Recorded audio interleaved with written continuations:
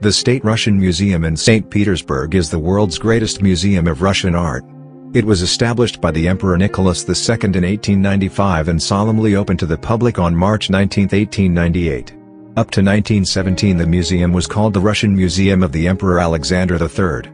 Alexander III, the father of Nicholas II, was a passionate collector like Catherine the Great. His palace in Gatchina was a real treasury.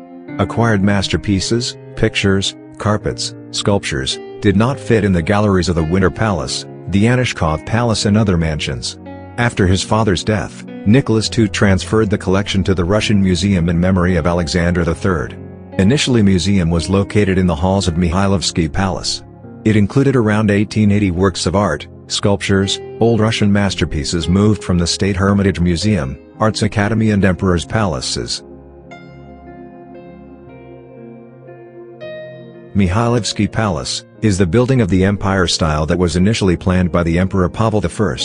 However, he was not able to see the result of his ideas, as Pavel was murdered as a result of a conspiracy. Despite that, the Emperor Alexander I ordered to build a palace. Carlo Rossi designed the Mikhailovsky Palace and the front square, as well as two streets, in Zaranaya and Mikhailovskaya. The building was ceremonially laid on July 14, 1819 and the actual construction started on July 26. The nearby garden, also called Mikhailovsky, was arranged from the side of Marsovo Field. On September 11, 1825 the palace was sanctified.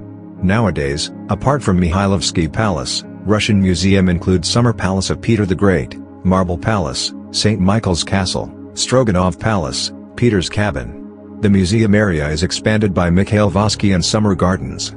Its total area is more than 30 hectares. The collection includes over 400,000 exponents and covers all historical period and tendencies of Russian art within over 1,000 years, from the 10th to the 21st centuries. The greatest part of the collection is situated in the former residence of Mikhail Petrovich, Mikhailovsky Palace.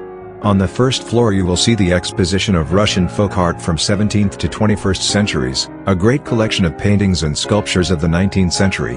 There are also wood carving works, ceramics, weaving, the second floor is filled with the art collection of the 18th century and some exponents of the 19th century. There is also a two-story Benois wing where you can mostly explore temporary museum expositions and see the works of modern painters and sculptors. Museum's collection possesses wonderful ancient icons, including those done by Rublev, Ushakov, and Dionysius. It is hard to call a name of a Russian artist, whose creations are not found in the Russian Museum. 15,000 paintings are the best masterpieces of Russian masters over 800 years. An outstanding exhibition of work from the artistic centers of ancient and medieval Russia.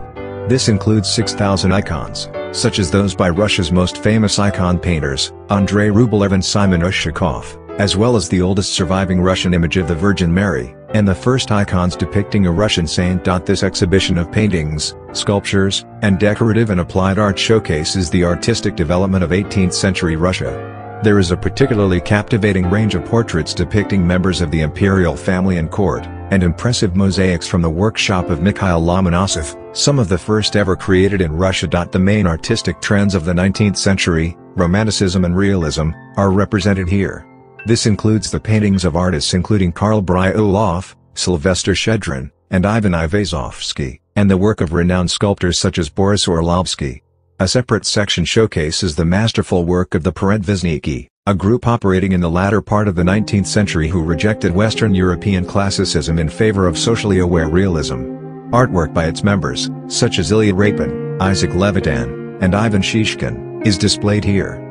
A fascinating exhibition displaying Russian art at the turn of the 20th century. As well as examples of modernist, neoclassical, and realist artwork, it features the majorly influential Mir iskusstva movement. This movement encompassed a huge variety of artistic styles, and the exhibition includes pieces by Boris Kustodiev, Alexander Benois, Nathan Altman, and Leon Bakst.